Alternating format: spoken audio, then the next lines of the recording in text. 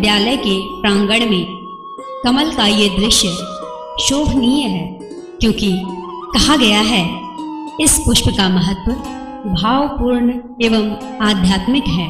आज, आश्विन मास के शुक्ल पक्ष में, दिनांक 14 अक्टूबर 2014 को, इस महाविद्यालय प्रांगण में श्रद्धे श्री बलिराम भगत जी की आदमकद प्रतिमा का अनावरण माननीय मुख्यमंत्री श्री जीतन राम मांझी के कर कमलों द्वारा होने जा रहा है। कार्यक्रम की शुरुआत के पहले की तैयारियों को देखते हुए कार्यक्रम की भव्यता का अंदाज़ा लगाया जा सकता है। आप देख सकते हैं मुख्य द्वार पर किस तरह बैनर लहराते हुए हमारे माननीय मुख्यमंत्री श्री जीतन राम मांझी के इंतज़ार में व्याकुल है।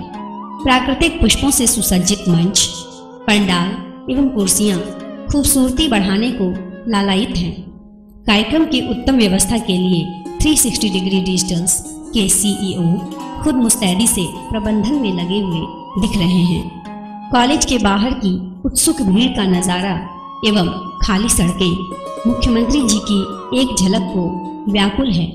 ऐसा लग रहा है सारा शहर आज महाविद्यालय प्रांगण में उमड़ पड़ा हो।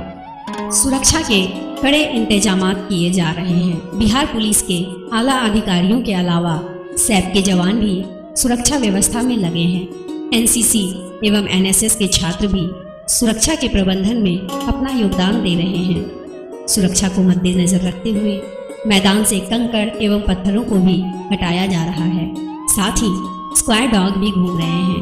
प्रवेश द्वार पर प्रत्येक व्यक्ति की व्यक्तिगत तलाशी ली जा रही है। महिला पुलिस भी महिलाओं की तलाशी लेकर ही प्रवेश करने दे रही है। छात्र छात्राओं को भी पहचान पत्र दिखाने के बाद ही प्रवेश मिल रहा है। पंडाल में प्रेस, शिक्षक छात्र छात्रा एवं महिलाओं को बैठने के लिए अलग दीर्घा बनाई गई है। सुदूर बैठे दर्शकों के लिए एलईडी स्क्रीन लगाया गया है ताकि वे भी माननीय मुख्यमंत्री को सुन सकें एवं इस ऐतिहासिक प्रतिमा अनावरण के दृश्य को महसूस कर सकें प्रसिद्ध लोक गायिका पद्मश्री श्रीमती शारदा सिन्हा के साथ कॉलेज के शिक्षक एवं शिक्षिकाएँ भी कार्यक्रम में हिस्सा लेने पहुँची है। कार्यक्रम के अध्यक्ष एवं हमारे vice chancellor professor Saket Kushwaha के संग प्राचार्य डॉक्टर शंभू कुमार यादव एवं शिक्षक गण भी माननीय मुख्यमंत्री जी के स्वागत के लिए खड़े हैं। तो चलिए बढ़ते हैं प्रत्यक्ष कार्यक्रम की ओर। बलराम भगत महाविद्यालय, ललित नारायण मिथिला विश्वविद्यालय की एक प्रमुख अंगीभूत इकाई है और यह समस्तीपुर शहर में अवस्थित है। यहाँ शहर एवं दूर दराज इलाके से हज़ारों की संख्या में छात्र छात्राएँ पढ़ने आते हैं। इस महाविद्यालय में विज्ञान, कला एवं वाणिज्य की पढ़ाई स्नातक स्तर की होती है। महाविद्यालय सरदेव बलराम भगत जी के नाम पर है। जो महान अर्थशास्त्री समाज सेवी एवं राजनीतिज्ञ थे, साथ ही लोकसभा अध्यक्ष एवं कई राज्यों के राज्यपाल रह चुके हैं। इनके अथक प्रयास से महाविद्यालय की स्थापना हुई। आज सरदेव बलराम बाबू की आदमकद प्रतिमा का अनावरण माननीय मुख्यमंत्री श्री जीतन राम मांझी के कर कमलों द्वारा आयोजित होने वाला है। इस महाविद्यालय के लिए यह गौरव की बात है। आइए हम सब समाज मिलकर इस प्रतिमा के अनावरण समारोह को शांतिपूर्वक सफल बनाने में एक दूसरे का सहयोग करें। शिक्षा के मंदिर में जहाँ से ज्ञान की ज्योति, जहाँ से ज्ञान का प्रकाश, जहाँ से विज्ञान की अवधारणाएँ, जहाँ से सामाजिक अवधारणाएँ एवं सिद्धांत का प्रतिपादन होता है, ज्ञान का प्रसार होता है, ज्ञान का प्रचार होता है। उसके केंद्र ललित नारायण मिथिला विश्वविद्यालय की अंगीभूत इकाई बलिराम भगत महाविद्यालय समस्तीपुर में आज हम इस क्षेत्र के उस महापुरुष के प्रतिमा का अनावरण समारोह में सम्मिलित हुए हैं, जिनकी गाथा यहाँ के तमाम लोग जानते हैं। वे इस क्षेत्र और बिहार का नाम भारत के क्षितिज पर, भारत के सामाजिक एवं राजनीतिक परिप्रेक्ष्य में जिन्होंने इस क्षेत्र की पहचान दी है, उनके प्रतिमा का अनावरण समारोह में हमारे राज्य के माननीय मुख्यमंत्री जीतन राम मांझी जी पधार रहे हैं। उनके स्वागत के लिए और प्रतिमा के अनावरण समारोह के दृश्य को देखने के लिए हमारी आँखें कुछ खोज रही है उस दृश्य को। हमारे मन में, हमारे विचारों में, हमारे भावनाओं में स्पंदन हो रहा है। कब हमारे मुख्यमंत्री जी पधारेंगे? कब उनकी बातों को हम सुनेंगे? उनके द्वारा दिए गए सिखों से हम लाभ उठाएँगे? और फिर हम उस ऐतिहासिक पुरुष जिनके प्रतिमा का अनावरण समारोह आज है, उनके प्रतिमा को देखने के लिए हम सभी व्याकुल हैं। और ललित नारायण मिथिला विश्वविद्यालय के कुलपति, प्रति कुलपति, वे सभी उनके स्वागत के लिए गेट पर खड़े हैं। मैं थोड़ा सा बिहार के बारे में बताऊँ। उनके संदेश को आप तक पहुंचाऊं। वो क्या संदेश लेकर हमारे पास आए हैं? उनका संदेश है, जागो बिहार जागो बिहार, जगा रही भूमि ललकार। जागो बिहार जागो बिहार, जगा रही भूमि ललकार। बुद्ध महावीर की यह भूमि जिसकी होती थी जयकार। बुद्ध महावीर की यह भूमि जिसकी होती थी जयकार। वाल्मीकि विश्वामित्र यहाँ का, यह धरती है अति महान। जागो बिहार जागो बिहार जागो बिहार जागो बिहार। जय प्रकाश की यह भूमि है, राजेंद्र है इसका उपहार। जागो बिहार जागो बिहार, जगा रही भूमि ललकार। जय प्रकाश की यह भूमि है, राजेंद्र है इसका उपहार। जागो बिहार जागो बिहार, जगा रही भूमि ललकार। नालंदा विक्रमशिला की इसकी पहचान जागो बिहार जागो बिहार जगा रही भूमि ललकार चाणक्य मंडल विद्यापति, आज भट्ट सरीखे, हे विद्वान, जागो बिहार जागो बिहार जगा रही भूमि ललकार याज्ञवल्क कपिल गौतम, जैसे ऋषि हुए यहाँ महान, जागो बिहार जागो बिहार जगा रही भूमि ललकार कात्यायन रुचि महाकवि बानवट हुए थे इस धरती पर। जागो बिहार जागो बिहार जगा रही भूमि ललकार। अपनी अस्मिता को पहचानो बिहार अपने बारे में सोचो बिहार जागो बिहार जागो बिहार जगा रही भूमि ललकार। यही ललकार सुनाने के लिए, यही संदेश देने के लिए बिहार को जगाने के लिए, शिक्षा के मंदिर में आज हमारे माननीय मुख्यमंत्री जी, हमारे बीच आने ही वाले हैं। उनका संदेश पहले ही आया। जो संदेश था, जागो बिहार जागो बिहार। जगा रही भूमि लड़कार के शब्दों के साथ। इंतज़ार की घड़ी लंबी होती है। लेकिन इंतज़ार के बाद जो फल हमें प्राप्त होता है, जिसकी मिठास इतनी होती है कि इंतज़ार की घड़ी में झेली हुई कठिनाइयाँ भी महसूस नहीं होती, उसका दुख दर्द सुख और आनंद में बदल जाता जाता है। तब तक मैं उनका संक्षिप्त जीवन परिचय आप लोगों को बता देना चाहता हूँ। जिन महापुरुष का प्रतिमा का अनावरण है। श्रद्धे बलिराम भगत जी का जन्म 7 अक्टूबर 1922 को बिहार की वर्तमान राजधानी पटना में हुआ था। उनका पैतृक गाँव दशहरा, प्रखंड मोहद्दी नगर और जिला समस्तीपुर है।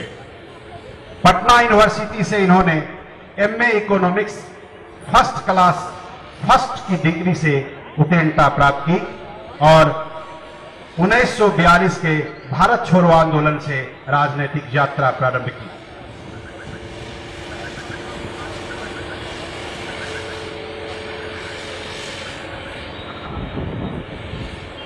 उन्नीस सौ चौवालिस में फाउंडर मेंबर बने वो ऑल इंडिया स्टूडेंट कांग्रेस का। फिर राजनीतिक यात्रा समाज की सेवा, गरीबों की सेवा, दलितों की सेवा शोषितों की सेवा प्रारंभ हो गई। वे अपना जीवन समर्पित कर दिए राष्ट्र के लिए, समाज के लिए, गरीबों के लिए, दलितों के लिए। और 1946 से सैतालीस तक वे बिहार प्रदेश छात्र कांग्रेस के महासचिव रहे। फिर उन्नीस सौ बावन से छप्पन तक parliamentary secretary to the minister of finance रहे। तदुपरांत उन्नीस में वे डिप्टी मिनिस्टर ऑफ़ फाइनेंस बने और सात वर्षों तक इस पद पर बने रहे। वे आरा से सांसद बने थे। उन्नीस में मिनिस्टर स्टेट फॉर प्लानिंग बने एवं उन्नीस सौ छियासठ तक रहे। बीच में कुछ दिनों तक डिफेंस मिनिस्टर भी रहे। उन्नीस सौ उनहत्तर में वो कैबिनेट मिनिस्टर बने, फॉरेन ट्रेड एवं सप्लाई का दायित्व उन्हें सौंपा गया और तदुपरांत वे मिनिस्टर ऑफ़ स्टील एवं हैवी इंजीनियरिंग भी बने। और जीवन पर्यंत इस क्षेत्र की सेवा, राष्ट्र की सेवा, दलितों की सेवा, गरीबों की सेवा करते रहे। वे एक राजनेता ही नहीं, अपितु एक सफल पत्रकार और सफल लेखक भी थे। उन्नीस से वे राष्ट्रदूत एवं प्रगतिशील हिंदी साप्ताहिक का प्रकाशन शुरू किया। उनके द्वारा international issue non alignment present and future commonwealth today नामक पुस्तक लिखी गई, जो हमारे सामने कॉमनवेल्थ का सही चित्रण करता है। और इस तरह वे जीवन पर्यंत राष्ट्र की सेवा, समाज की सेवा, गरीबों की सेवा में लगे रहे और जनवरी दो, बीस सौ ग्यारह में वे हमें छोड़कर स्वर्ग चले गए। और आज हम उनके याद में, उन्हें श्रद्धांजलि देने के लिए, उन्हें अपने भाव भरी श्रद्धा सुमन अर्पित करने के लिए हम सभी यहाँ एकत्रित हैं। सायरन बज रही है। सायरन की आवाज़ हमारे कानों में गूंज रही है। माननीय मुख्यमंत्री महोदय, अब कुछ ही क्षणों में हमारे बीच आने ही वाले हैं। अब वो आ गए हैं। अब कुछ ही क्षणों में हमारे प्रांगण में उनके उनके पदचरण पड़ेंगे और हम महाविद्यालय परिवार धन्य हो जाएँगे, धन्य हो जाएँगे, धन्य हो जाएँगे।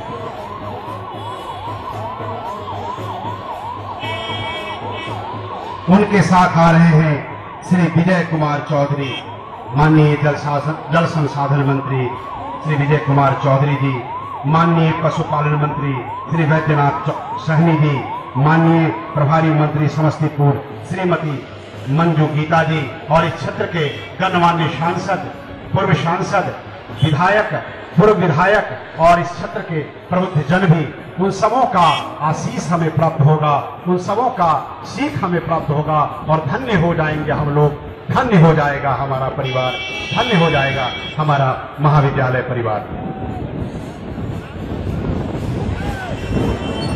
पुनः मैं अब हमारे माननीय मुख्यमंत्री जी प्रतिमा स्थल पर पहुँच चुके हैं और उन्हें उन्हें मंच पर लाने की कृपा करें।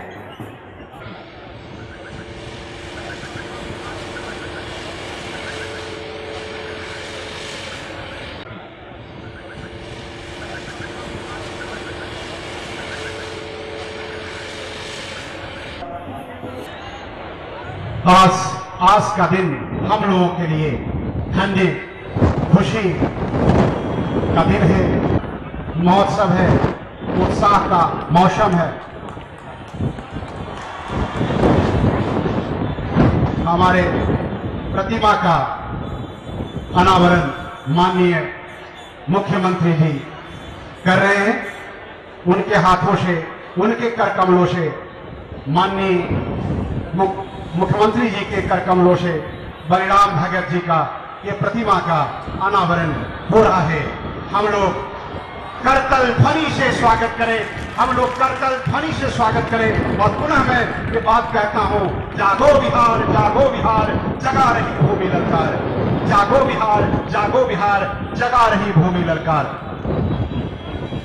जागो बिहार